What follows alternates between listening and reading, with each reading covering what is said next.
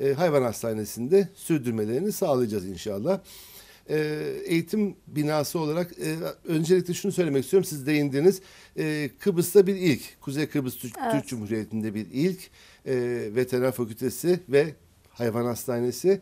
Dünyada da özel üniversitelere baktığımız zaman dediğiniz gibi ilk üç içerisinde Yakın Doğu Üniversitemizi görüyoruz. Ee, bilebildiğim kadarıyla İspanya'da bir tane, Güney Amerika'da Güney bir Amerika. tane ve üçüncü olarak da Kuzey Kıbrıs Türk Cumhuriyeti'nde e, özel üniversitede veteriner hekimlik eğitimi verilmekte. Niçin bu kadar sayısı az diye bir soru aklımıza Evet, gelir, e, kesinlikle. gelebilir. Bunun da temel nedeni tabii veteriner hekimlik eğitimi pahalı bir eğitimdir. O nedenle özel sektörünün, özel teşebbüslerin pek cesaret edemediği, daha ziyade devlet destekli üniversiteler tarafından yürütülen, onların bünyesinde bulunan bir eğitimdir veteriner hekimlik eğitimi. Gerçekten de alet edevatıyla, çalışma koşullarıyla, e, verdiği hizmetlerle pahalı bir eğitim. Bunu kabul etmemek mümkün değil Tabii tabii. ki tabii ki. Bu anlamda Yakın Doğu Üniversitesi de kurucu rektörümüz tabii ki Doktor Sayın Suat Günsel'in büyük bir e, öngörüsü, cesareti diyeceğim bu anlamda ve girişimciliğiyle bu fakülte 2010 yılında Kuzey Kıbrıs Türk Cumhuriyeti'nde hayat kuruldu ve eğitim hayatına başladı. Bugüne kadar da dediğim gibi başta e, mekan zorlukları olmakla beraber diğer bazı zorluklarla beraber bugüne kadar başarıyla bu eğitimimizi sürdürdük.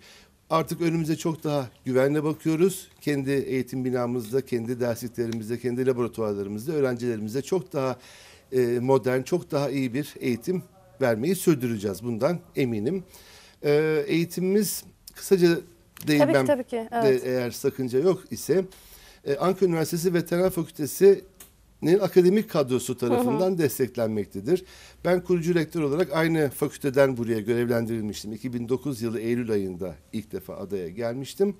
E, ve o tarihten bu tarihe kadar da eğitimimizi Ankara Üniversitesi Veteriner Fakültesi'nin konularında uzman hocaları gelerek buraya derslere bizzat katılarak, uygulamalara bizzat katılarak bugüne kadar yürüttüler.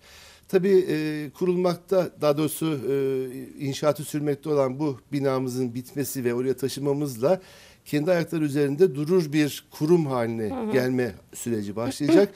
bu süreçte de elbette bu bahsettiğim şimdiye kadar olan desteğin Ankara Üniversitesi Veteriner Fakültesi tarafından yapılmış desteğin sürmesi büyük önem arz ediyor.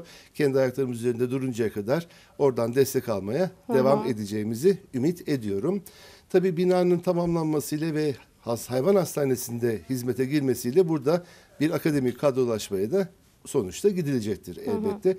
Konusunda uzman hekim meslektaşlarımızı burada istihdam edip e, hem öğrencilerimizin eğitimine hem de topluma hizmet vermeyi başlayacağız.